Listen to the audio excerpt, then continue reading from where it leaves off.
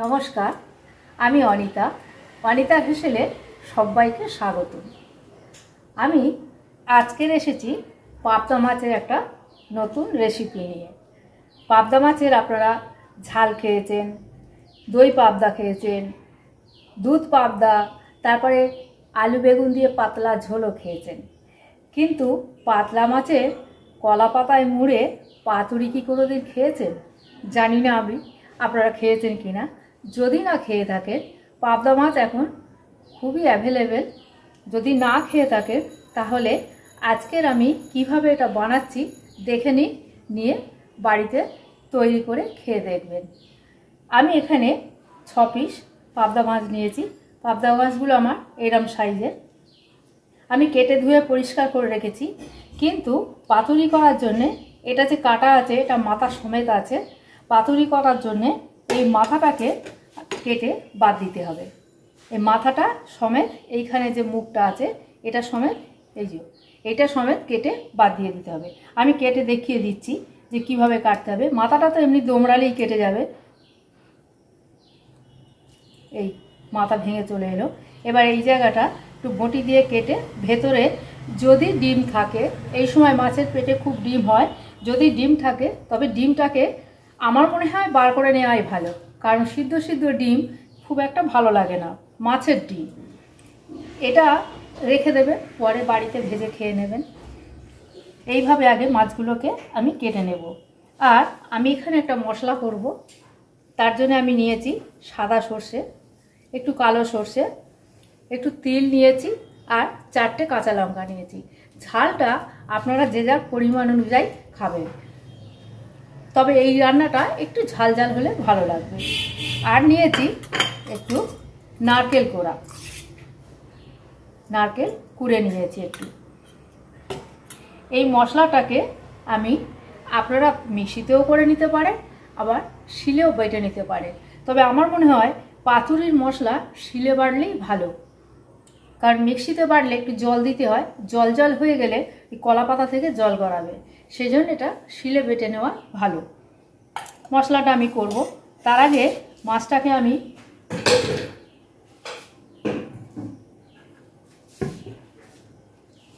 মাথাটা কেটেছি। এই জায়গাটা এই যে বললুম, পেটে ডিম আছে। আমি ডিমটাকে বার করে নিচ্ছি। কারণ এটা তো আমি ভাজবো না, এটা ভাপে সিদ্ধ হবে।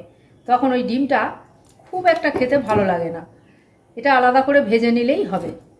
এই, এইভাবে কেটে নেবেন মাথাটাকে ফেলে বাকি মাছটাকে এইভাবে কেটে নেবেন কারণ মাথা ভাপা খেতে ভালো লাগবে না।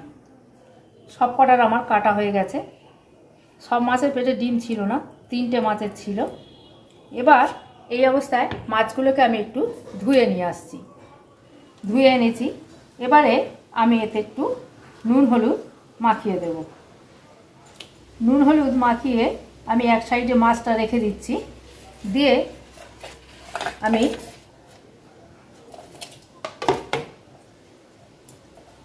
এটা বেটে নেব আর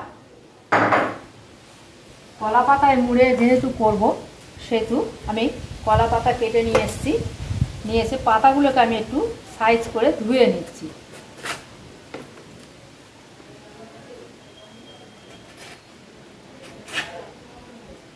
এই ডাটাগুলো কেটে ফেলে দিতে হবে।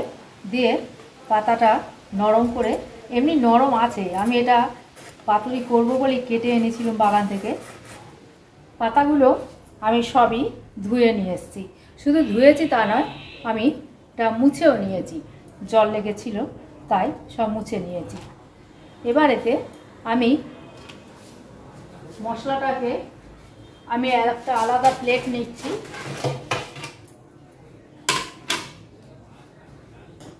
মশলাটা আমি মিক্সির মধ্যেই পেস্ট করে নিয়েছি। নিয়ে বাইরে বার করে নিচ্ছি। শিলে আর আমি বাটি নিয়ে এখন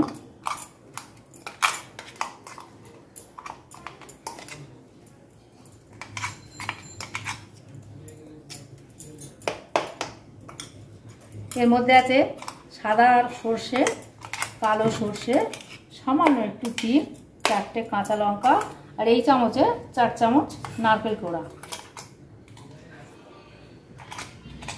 এটা আমি প্রথমে সর্ষে, তিল আর কাঁচা লঙ্কা আগে একটু মিক্সিতে ঘুরিয়ে নিয়েছি, একটু জল দিয়ে।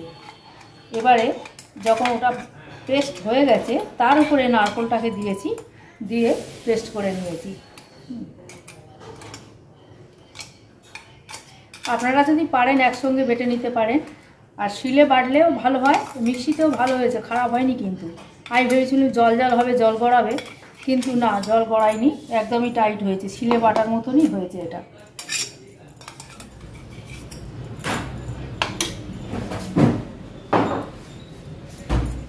এবারে এই মশলাটার মধ্যে আমি একটু নুন দিয়ে দেবো। নুনটা আমি মাছের মধ্যেও দিয়েছি, সেই পরিমাণ অনুযায়ী আমি এর মধ্যে দিয়ে দিলাম। আর মশলাটার মধ্যে একটু হলুদও আমি দিয়ে দেব।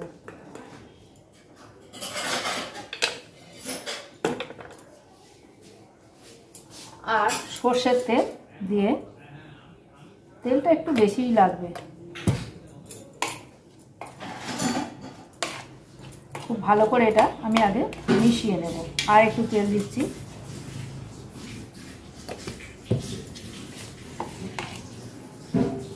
কারণ এই ভাপা টাপা খেতে গেলে বা পাতুরি খেতে গেলে তেলের পরিমাণটা একটু বেশি লাগে।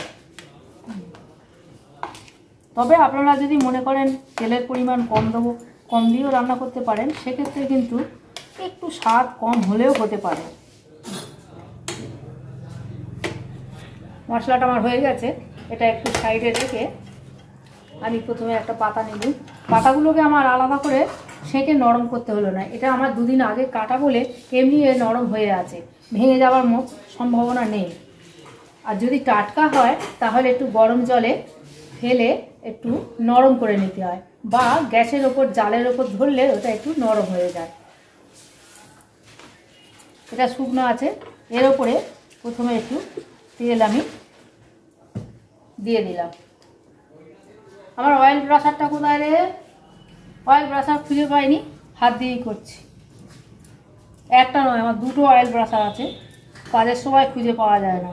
এটাই আমাদের কাজ। এবারে এই নুন হলুদ মাখানো যে মাছটা আমি রেখেছি, তার থেকে একটা মাছ নিয়ে এই মশলার মধ্যে দিয়ে ভালো করে মশলা মাখিয়ে নিতে হবে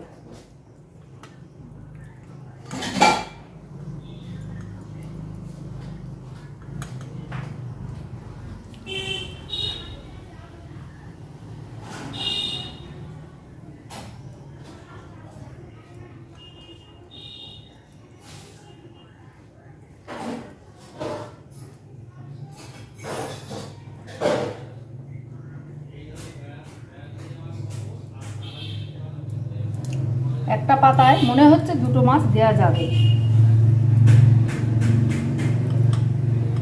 আমি আর একটা মাছের গায়েও মশলা মাখিয়ে নিলাম।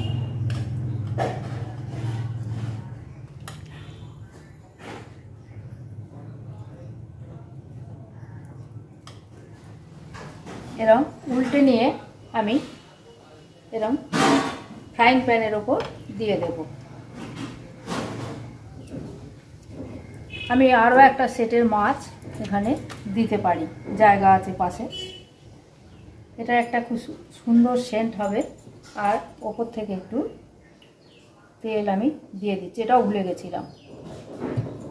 দিয়ে এবার আমি মুড়ে আবার উল্টে দিচ্ছি।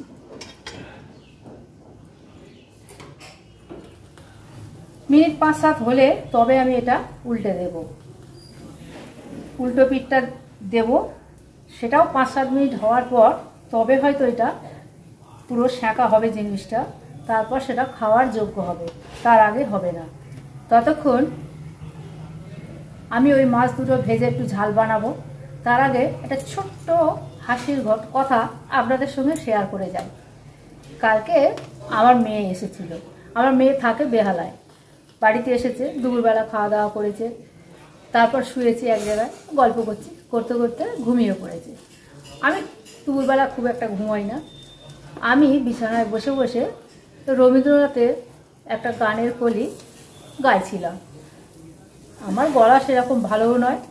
এবার একটু হয়তো সর্দি টর্দি হয়েছিল, বা যাই হোক, আমি গান গাইছি। আর বাইরে প্রচণ্ড বৃষ্টি হচ্ছে। হঠাৎ আমার মেয়ে চুপ করে শুনছিল। শুনতে শুনতে উঠে বলছে, মা বাইরে প্রচণ্ড বৃষ্টি হচ্ছে, রেডিওটা ঝ্যাঁঝ্যাঁ করছে, তুমি ওটা বন্ধ করে দাও। আমি আর কি করব তখন? গানটা থামিয়েই দিলাম। এবার গ্যাসটাকে আমি কমিয়ে দিয়েছি। এরম কমানো অবস্থায় পাঁচ মিনিট থাকবে। তারপর আমি এসে আবার এটাকে উল্টে দেবো। ততক্ষণ আমি ওই মাছটাকে ভেজে ঝাল করে নিচ্ছি। পাঁচ মিনিট হয়ে গেছে। আমি ঢাকাটা খুলছি। খুলে মাছটা উল্টে দিলাম।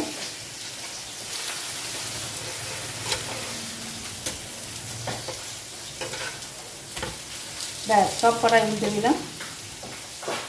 এখানে এইটা করছি। রান্নাঘরের এই পাশে গ্যাস। এইখানে আমি হেসেলে রান্না বান্না করি। আর ওই পাশে গ্যাসে আমার রান্না হয়। ওইখানে আমি মাছ দুটো ভাজতে দিয়েছি। মাছ দুটো এবার উল্টাই উল্টে ঝালটা বানিয়ে নিই তাহলে ওদিকে আমি মাছ দুটো ঝাল করেও নিয়ে চলে এসেছি। দুটো মাছ তো বেশিক্ষণ সময় লাগেনি। ভেজে নিয়ে কাঁচা লঙ্কা, কালো জিরে, ফোড়ন দিয়ে আর অল্প একটু সর্ষে বাটা দিয়ে আমি এই ঝালটা করেছি। এই ঝালের রেসিপি আমি চ্যানেলে আগেও দেখিয়েছি। তবে আজকের আমি খুব সহজেই করে নিয়েছি। অল্প কালো জিরে, ফোড়ন দিয়েছি। আর একটু কাঁচা লঙ্কা, সর্ষে বাটা দিয়েছি, দিয়ে মাছ দুটো ঝাল করেছি। তাহলে দুটো মাছের আমি ঝাল করলাম বাকি চারটে আমি পাতুরি করে নিলাম। আজকে দুপুরবেলার খাওয়া, খুব জমবে। সাথে ডালও আছে, আবার একটু তরকারি করাও আছে। তাহলে এটা আমি এখন গরমে গ্যাসটাকে অফ করে রেখে গরমে এরকম চাপা দিয়ে রাখব। খুলে দেখাতে বললে আমি একটা খুলে দেখাচ্ছি। এই দেখুন। কি সুন্দর দেখতে হয়েছে, দেখুন। দাঁড়ান, গ্যাসটাকে আগে অফ করে দিই। দেখুন, কি সুন্দর দেখতে হয়েছে, দেখুন দেখুন দেখুন।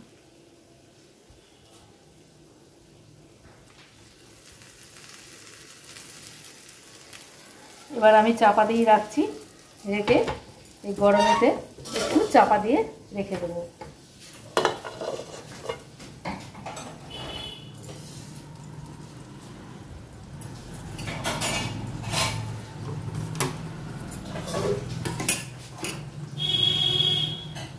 তাহলে আজকের এই পর্যন্ত আমি পাবদা মাছের পাতুরি আর ঝাল একসাথে করে দেখালাম। ঝালটা আমি করে দেখাইনি, কিন্তু বলে দিলাম, মাছটাকে ভেজে নিয়ে আর সর্ষে কাঁচা লঙ্কা বাটা দিয়ে, কালো জিরে ফোড়ন দিয়ে আমি ঝালটা করেছি। তাহলে আমার মাছের ঝাল আর মাছের পাতুরি দুটোই হয়ে গেল। এবার শুধু খেলেই হয়ে যাবে। তাহলে এই পর্যন্ত সবাই ভালো থাকবে এই ভিডিওটা দেখার জন্যে সবাইকে ধন্যবাদ। আর যদি ভালো লাগে, তাহলে আমাকে একটা কমেন্ট করে জানাবেন। আর আমার চ্যানেলটা অবশ্যই সাবস্ক্রাইব করে দেবেন।